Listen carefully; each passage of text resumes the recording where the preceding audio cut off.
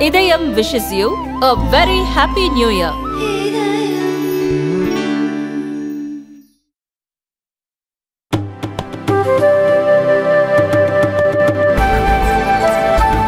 உச்சநீதிமன்றத்தின் நம்பகத்தன்மையை காக்க வேண்டுமானால் வழக்குகளை வழக்கறிஞரால் நடத்தக்கூடாது என்று தலைமை நீதிபதி டி ஒய் சந்திரசூட் கூறியுள்ளார் குறிப்பிட்ட வழக்குகள் குறிப்பிட்ட நீதிபதிகளுக்கு ஒதுக்கப்பட்டதாக குற்றச்சாட்டு எழுந்துள்ளது.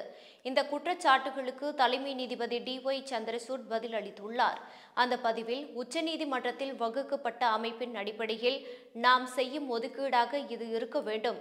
உங்கள் முடிவெடுப்பவர்களை நீங்கள் நம்ப வேண்டும். பட்டியல் பொதுவெளியில் உள்ளது.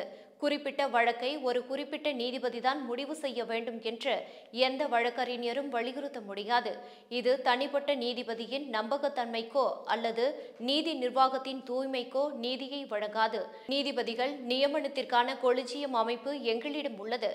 ஆயிரத்து தொள்ளாயிரத்து தொன்னூற்று மூன்று முதல் நீதித்துறையின் ஒரு பகுதியாக உள்ளது. அதைத்தான் நாங்கள் செயல்படுத்துகிறோம். அதை இன்னும் வெளிப்படை தன்மையுடன் அதிக நோக்கத்துடன் பராமரிப்பது பராமரிப்பதும் நமது கடமை. அது தொடர்பாக தீர்க்கமான நடவடிக்கைகளை எடுத்துள்ளோம்.